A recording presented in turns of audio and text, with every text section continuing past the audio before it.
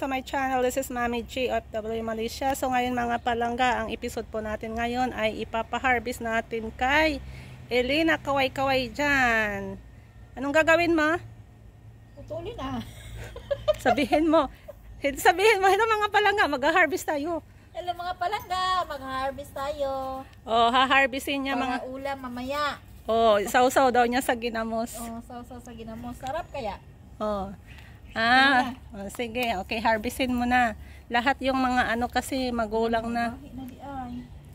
Ayaw niya pa asanang harvestin kasi nga maraming pang ulam galing sa ano. Oh, ayan, nakadalawa na. Sabi ko harvestin na bago ano, magugulang. Ayan, harvestin. Ito pa, oh, mayroon pa oh. Na? Hmm.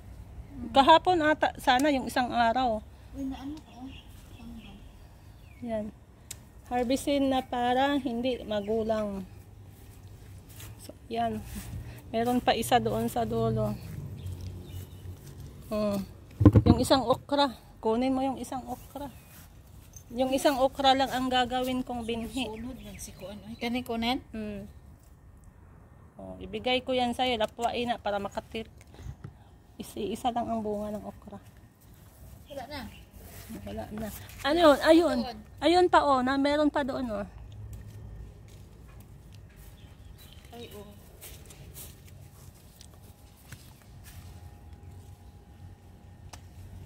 Oh, tapos mayroon pa doon sa dulo. Kunin mo na yung doon sa dulo.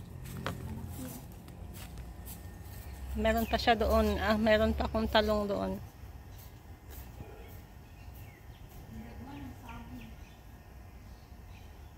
Hayaan mo yung saging. Pang ano natin, pang suman. So, ayan mga palangga yung ating na harvest. O, hawakan mo.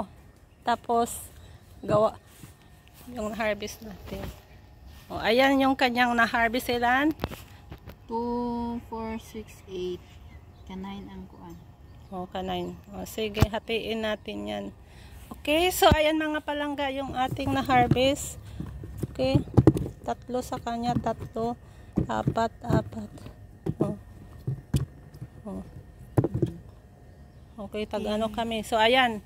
Okay, maraming salamat sa panonood. This is Mami Jenelina nagsasabing sa iyo on our next vlog. Paalam mga palangga. God bless everyone.